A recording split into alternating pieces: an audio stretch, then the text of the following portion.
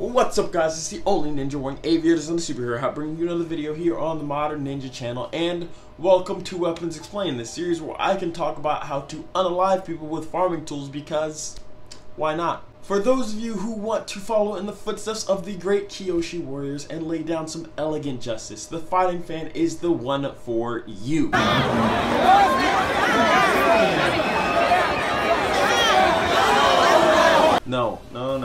Fighting fans, not fighting fans.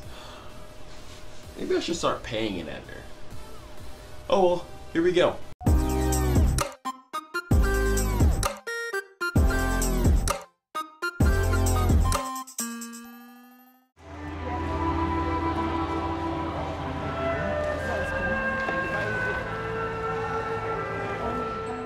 Traditional Japanese folding fans, or sensu, became significant elements of the Japanese society during the 7th century, often used by samurai, specifically high-ranking samurai who were required to know how to carry and hold these sensu. But as with nearly everything else humans made in that era, they were eventually turned into weapons. The Japanese war fan, or tensen, is a weaponized Japanese hand fan designed for use in combat, most often used by the samurai class of feudal Japan because samurai were better than basically everyone else. Yeah, I'm better than you, okay? Much better than you. You are garbage. You know, this has me thinking some of the coolest weapons came out of feudal Japan. Like, I love it.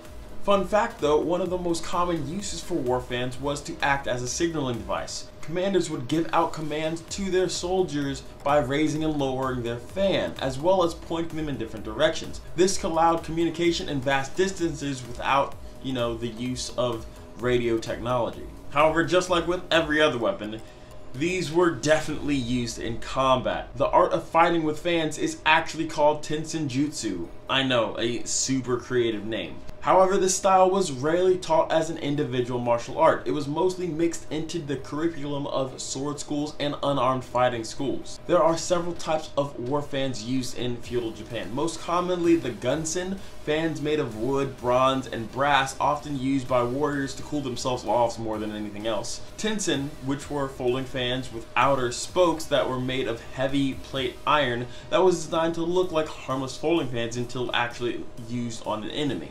These were used in assassinations due to the fact that you couldn't really tell them apart from traditional folding fans. And lastly, gunbai, large, solid, open fans that could be solid iron and carried by high-ranking officers, often used to ward off arrows and block things. Now that's it for my video today. If you want me to go over Tensen Jutsu in a separate video, let me know down in the comments below because I might get it, I might get to it. It's not a very extensive martial arts from what I've found, so um, I'm only going to get to it if you guys request it. So let me know down in the comments.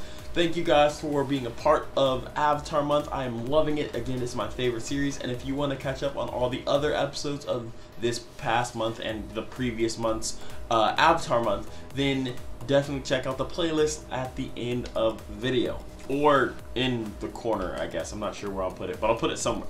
But until next time, don't forget to do all the great YouTube stuff because it really does help me out quite a lot. And check out the merch if you're interested in getting yourself some fly clothes. But until then, my name's DJ Moore.